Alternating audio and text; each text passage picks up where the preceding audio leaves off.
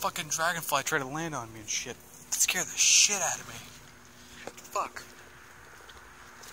Fuck this fucker go. This, I was just fucking with it. I think I got what I deserved.